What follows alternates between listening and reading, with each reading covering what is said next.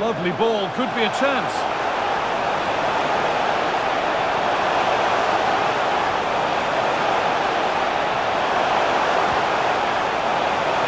And that's where it ends, with possession lost.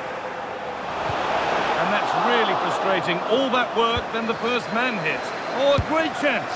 And that is sensational. Watch it again and again and again. Unbelievable.